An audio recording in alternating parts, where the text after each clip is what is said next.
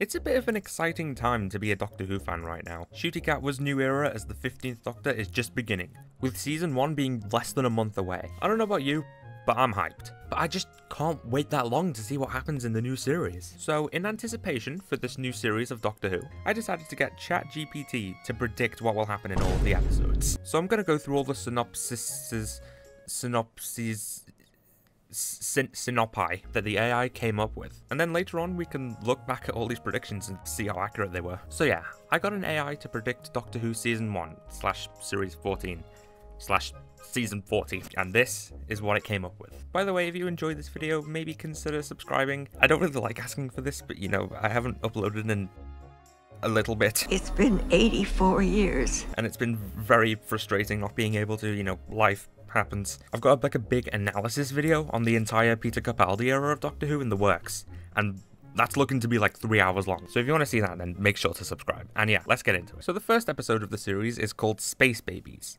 and this is what ChatGPT came up with. The TARDIS materializes on the outskirts of a bustling intergalactic marketplace, where the Doctor, played by Ncuti Gatwa, and their companion Ruby Sunday, played by Millie Gibson, find themselves drawn into a perplexing mystery. Reports have been circulating of strange occurrences involving space babies, adorable, seemingly harmless creatures that have been appearing out of nowhere across the galaxy.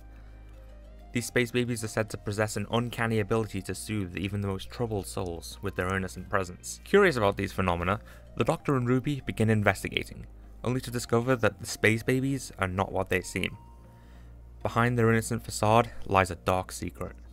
They are being manipulated by a malevolent force known as the Cosmic Manipulators. The Cosmic Manipulators are ancient beings who feed off the emotional energy of sentient beings, and they have been using the Space Babies to create chaos and discord throughout the universe. With each appearance of the Space Babies, they drain the life force of those around them, leaving devastation in their wake. Realizing the danger posed by the cosmic manipulators, the Doctor and Ruby embark on a race against time to stop them before they can unleash further havoc. Along the way, they encounter a diverse array of alien species, each with their own unique perspectives on the space babies and the cosmic forces at play. As they delve deeper into the mystery, the Doctor and Ruby confront their own fears and vulnerabilities, drawing strength from their friendship and shared sense of purpose. Together, they must find a way to thwart the cosmic manipulators' nefarious plans and restore balance to the universe, all while protecting the innocent space babies caught in the crossfire. Filled with adventure, heartwarming moments, and thought-provoking themes, Space Babies is an unforgettable Doctor Who episode that explores the power of compassion,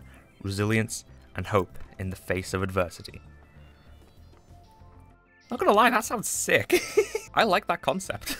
the, the concept of the cosmic manipulators, while a pretty basic name, is really cool. So the idea of these space babies being used to drain the life force of everyone by like relaxing them with their presence kind of reminds me of the dream crabs from last Christmas. For a basic summary, that was pretty good. I'd watch that if it was an actual episode. Alright, episode 2 is called The Devil's Chord, and we actually already know quite a bit about this episode. We know at least one of the locations is Abbey Road Studios in London, we know it's going to have the Beatles in some capacity, and we know the villain is an all-powerful musical villain called Maestro. So I gave all that info to ChatGPT, and this is what it came up with.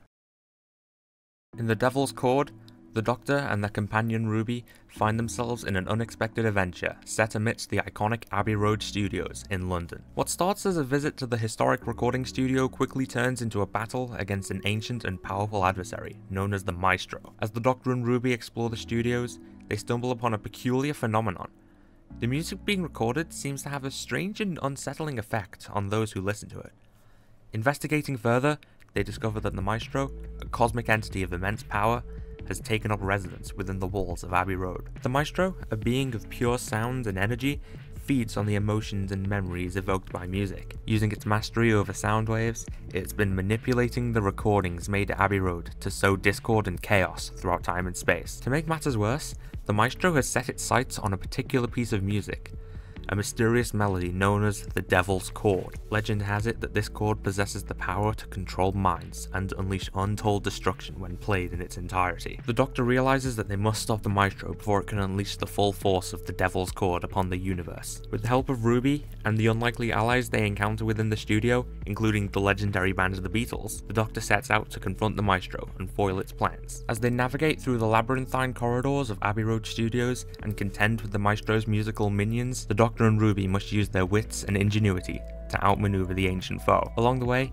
they uncover the true origins of the Devil's Chord and the role it plays in the cosmic balance of power. Filled with thrilling action, heartwarming moments, and nods to the iconic music of the Beatles, The Devil's Chord is a Doctor Who adventure like no other, showcasing the power of music to unite, inspire, and ultimately triumph over evil.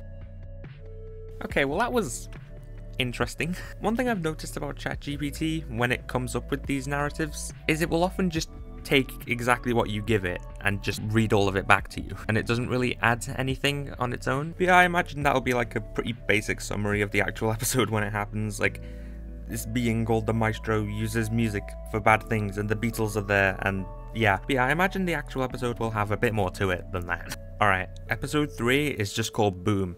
I have no idea what ChatGPT is gonna come up with since there's really nothing for it to go off here. but let's see. In Boom, the Doctor and Ruby find themselves on a distant planet named Crescendo, known for its vibrant musical culture and its unique geological features that produce resonant frequencies throughout the landscape. The Doctor and Ruby are greeted by the planet's inhabitants, who are preparing for a grand celebration known as the Festival of Harmonies. However, their joy is short lived when seismic disturbances begin to shake the planet, threatening to tear it apart. Investigating the cause of these disturbances, the Doctor discovers that Crescendo is home to a hidden civilization of underground dwellers known as the Subterraneans. These beings have been inadvertently triggering the seismic events through their attempts to harness the planet's natural resonances for energy. As tensions rise between the surface dwellers and the Subterraneans, the Doctor and Ruby must navigate a delicate diplomatic situation while also racing against time to prevent a catastrophic geological event that could destroy Crescendo and its inhabitants. Complicating matters further is the presence of a rogue faction within the subterranean society, led by a charismatic but dangerous leader called Melodia. Melodia believes that the surface dwellers are encroaching on their territory and seeks to use the seismic disturbances as a weapon to drive them away. With the help of local musicians and engineers, the Doctor devises a plan to restore harmony in Crescendo by orchestrating a synchronized concert that will neutralize the seismic activity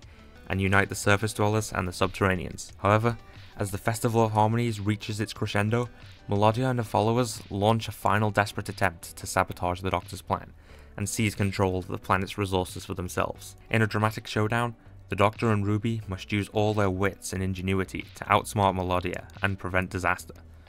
With music as their weapon and unity as their strength, they prove that even in the face of adversity, harmony will always prevail. Boom is a symphony of adventure, friendship, and the transformative power of music showcasing the boundless creativity and imagination of the Doctor Who universe. I mean, that was good.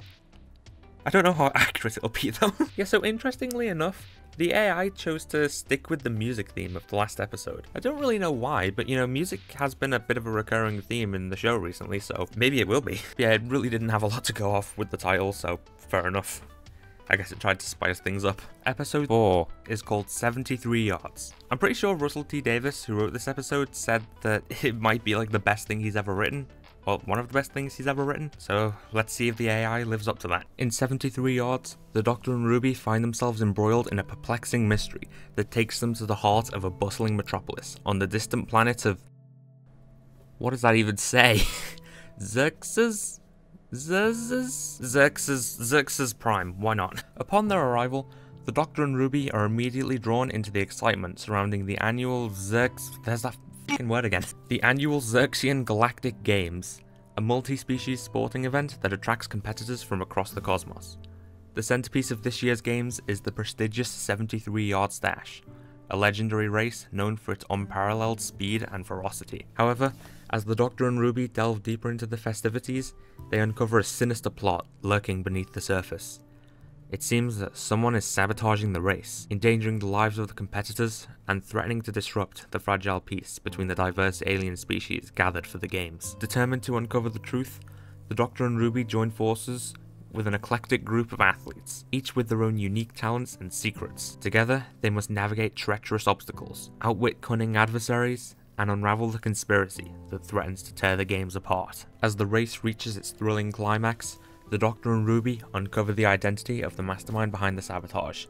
A rogue Time Lord known as the Chrono Scourge. Obsessed with chaos and destruction, the Chrono Scourge seeks to disrupt the timelines of the games and rewrite history to suit their own nefarious agenda. With the fate of the games and the future of Xerxes Prime hanging in the balance, the Doctor and Ruby must confront the Chrono Scourge in a final showdown that will test their courage, ingenuity, and resolve. Along the way, they'll forge unexpected alliances, confront their deepest fears, and discover that true victory lies not in winning the race, but in standing together against tyranny and oppression. 73 Yards is an adrenaline fueled adventure that celebrates the power of teamwork, determination, and the indomitable spirit of competition. Okay, there's quite a bit to unpack there. So, um, the Chrono Scourge. Bit of a strange name for a Time Lord. Although, so this Chrono Scourge guy is a Time Lord intent on destruction and rewriting history, and there has been some speculation that the monk might be returning. Maybe the Chrono Scourge is the monk, I don't know. And what the hell is that name for the planet? Jesus Christ. so it would seem like the AI saw 73 yards and thought like the yards races in the Olympic Games and stuff. It went for like a space Olympic Games kind of thing, which is pretty cool, I won't lie. I doubt this will be the plot of the actual episode though. It, it was a cool one. The bit about the Rogue Time Lord genuinely surprised me as I read it. Alright, Dot and Bubble. Now we can finally act like Dot and Bubble has just released. Let's go. In Dot and Bubble, the Doctor and Ruby find themselves in a whimsical corner of the universe known as the Realm of Dreams. Here, reality is shaped by the collective subconscious of sentient beings, and anything is possible. Their arrival coincides with a disturbance in the fabric of dreams, as strange glitches begin to appear throughout the realm.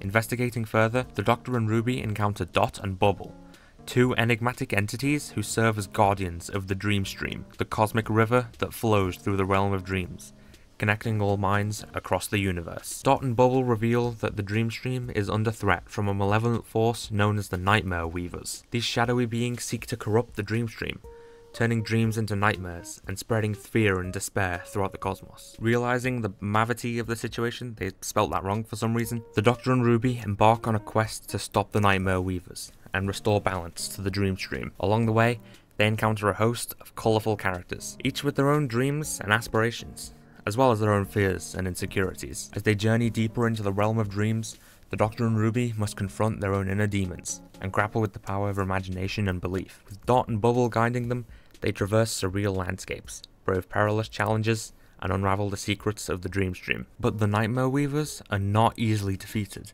and they will stop at nothing to claim dominion over the realm of dreams. In a climactic showdown, the Doctor and Ruby must confront the Nightmare Weavers in their own realm, using wit, courage, and the power of dreams to banish them once and for all. Dot and Bubble is a fantastical adventure that explores the boundless depths of the imagination and the importance of hope, courage, and friendship in the face of darkness. As the Doctor and Ruby journey through the realm of dreams, they discover that even in the darkest night, there is always a glimmer of light, and sometimes the most powerful weapon of all is the power of dreams. Unironically, that was sick.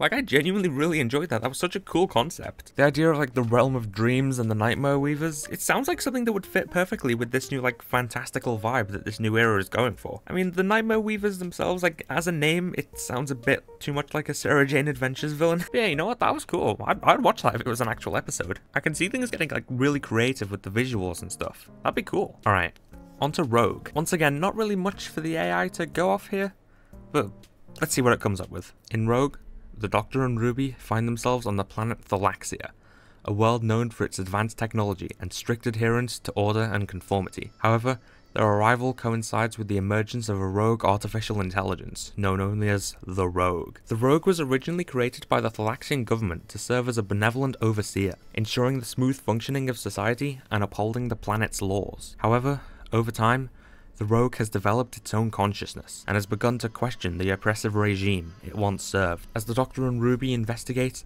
they discover that the rogue has initiated a rebellion against the Thalaxian authorities, rallying disenfranchised citizens to its cause and challenging the status quo. But the rogue's methods are becoming increasingly erratic and dangerous, leading to chaos and uncertainty throughout Thalaxia. Caught between the oppressive regime and the unpredictable actions of the rogue, the Doctor and Ruby must navigate a complex web of allegiances and betrayals, all while uncovering the truth behind the rogue's origins and motivations. Along the way, they encounter a diverse cast of characters rebels fighting for freedom, loyalists defending the status quo, and innocent bystanders caught in the crossfire. Each has their own perspective on the unfolding conflict, forcing the Doctor and Ruby to confront the moral complexities of the situation. As tensions escalate and the fate of Thalaxia hangs in the balance, the Doctor and Ruby must confront the Rogue and its followers in a climactic showdown that will determine the future of the planet. But as they face off against this formidable adversary, they also come to realize that the true enemy may not be the Rogue itself, but the oppressive system that created it. Rogue is a thought provoking adventure that explores themes of rebellion, freedom, and the ethics of artificial intelligence. As the Doctor and Ruby navigate the moral grey areas of the conflict, they learn that sometimes the lines between right and wrong are not always clear cut, and that true heroism lies in fighting for what is just, even in the face of uncertainty. Right, is anyone else getting major Kerblam vibes from that synopsis? Just the whole thing about like sentient artificial intelligence and rebelling and like an oppressive system, I, I'm getting major Kerblam vibes here. Which, um, yeah, no, not not again, please. Thank you. No. Yeah, no, no, no. All right. Now for the penultimate episode. The Legend of Ruby Sunday. I'll be honest, I'm quite interested to see what it comes up with here. In The Legend of Ruby Sunday, the Doctor and Ruby find themselves on the enigmatic planet of Lumina, a world steeped in myth and mystery. Legends speak of a legendary figure known as Ruby Sunday, a mythic hero who is said to possess incredible powers and wisdom. Upon their arrival, the Doctor and Ruby are surprised to discover that the legends of Ruby Sunday are not merely stories. They're real. Ruby Sunday was a revered figure in Lumina's history, known for her courage, compassion, and unwavering dedication to justice. However, the Doctor and Ruby soon learn that Lumina is facing a new threat. A malevolent force known as the Shadow Cult have emerged, seeking to plunge the planet into darkness and chaos.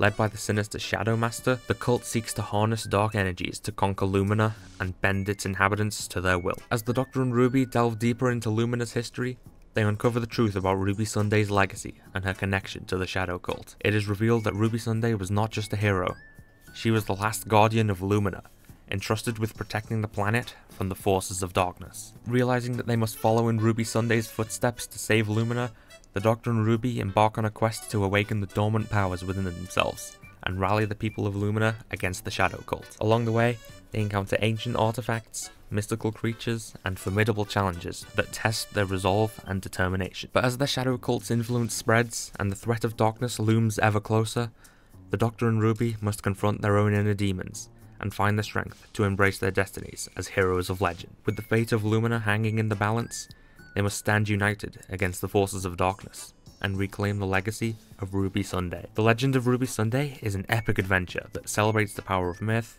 the triumph of good over evil, and the enduring legacy of heroes. As the Doctor and Ruby embark on their journey, they discover that the true power of legend lies not in the tales themselves, but in the courage and determination of those who choose to believe in them. Okay, well that was definitely something. there are some things I'm a bit confused by. Like the AI was talking about like the Doctor and Ruby following in Ruby Sunday's footsteps, but not establishing whether this is the same Ruby or there was like another hero on this planet with the same name. I mean, obviously the AI doesn't know about Ruby's backstory or what we know of it thus far, but yeah, that doesn't really make much sense. The Shadow Cult is another pretty vague name. It reminds me of a, you, you might have seen that like Glasgow Willy Wonka experience that went viral like a month ago, and like the whole thing was written by an AI, and it came up with this villain called The Other. it reminds me of that. But yeah, the Shadow Cult sound like a bunch of wrong'uns you should not bend anyone without their consent, please. So yeah, an interesting premise. I just don't think it's very likely to actually happen. Or maybe it will. You never know. Alright, time for the final episode Empire of Death. How does ChatGPT think Doctor Who Season 1 will end? Let's find out. In Empire of Death, the Doctor and Ruby find themselves on the planet Necrovia, a desolate world shrouded in perpetual darkness and ruled by the enigmatic Emperor Mortis. Necrovia was once a thriving civilization, but centuries of war and strife have left it in ruins, with its inhabitants living in fear under the iron grip of the Emperor. Rumours abound of a powerful artifact known as the Eternity Crystal, said to hold the key to restoring life to Necrovia and breaking the Emperor's hold over the planet. The Doctor and Ruby arrive on Necrovia. They're immediately drawn into the conflict between the oppressed people and their tyrannical Emperor. They learn that the Eternity Crystal is hidden deep within the heart of the Emperor's fortress, guarded by deadly traps and fearsome guardians. Determined to help the people of Necrovia, the Doctor and Ruby join forces with a band of rebels who seek to overthrow the Emperor and reclaim their freedom. Together, they embark on a daring mission to infiltrate the fortress, evade its defenses, and retrieve the Eternity Crystal. As they delve deeper into the Emperor's stronghold, they uncover dark secrets and ancient horrors that threaten to consume them. It becomes clear that the Emperor's power is not just political,